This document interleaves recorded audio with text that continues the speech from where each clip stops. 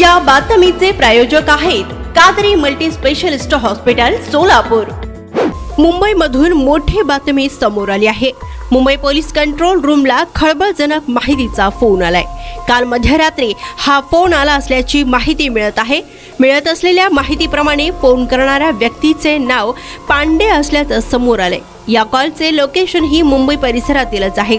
टँकरमध्ये दहशतवादी असल्याचा दावा आरडीएक्सनं भरलेल्या पांढऱ्या रंगाचा एक टँकर मुंबईतून गोव्याच्या दिशेनं जात आहे अशी माहिती मुंबई पोलिसांच्या कंट्रोल रूमला फोन करणाऱ्या या व्यक्तीनं दिली. या टँकरमधून दोन पाकिस्तानी दहशतवादी प्रवास करीत आहेत. असा दावाही या व्यक्तीनं केला असल्याची माहिती सूत्रांकडून मिळत आहे. दरम्यान मुंबई पोलिसांनी या फोनची गांभीर्यानं दखल घेतली असून महाराष्ट्र एटीएस आणि गोवा पोलीस या प्रकरणाचा तपास करीत आहेत. पोलीस कंट्रोल रूमला फोन करणारी व्यक्ती पोलिसांच्या संपर्कातच आहे.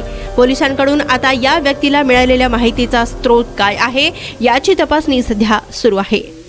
सोलापुरात वैद्यकीय क्षेत्रात उत्तुंग भरारी घेतलेले व आय एस ओ नामांकन मिळालेले हॉस्पिटल म्हणजे कादरी मल्टी स्पेशलिस्ट हॉस्पिटल. चोवीस तास मेडिकल औषधांची सुविधा सुसज्ज महिला वार्ड अत्याधुनिक तंत्रज्ञानाचे आयसीयू ऑपरेशन थिएटर बालरोग विभाग प्रसूती रूम हाय टेक्नॉलॉजीचे एक्स रे रूम सोनोग्राफी अत्याधुनिक आयसीयू विभाग आणि चोवीस तास इमर्जन्सी सर्व्हिस ही. आमचा पत्ता प्लॉट नंबर दहा मजरेवाडी नैजिंदगी रोड अथर्व मंगल कार्यालयाजवळ सोलापूर.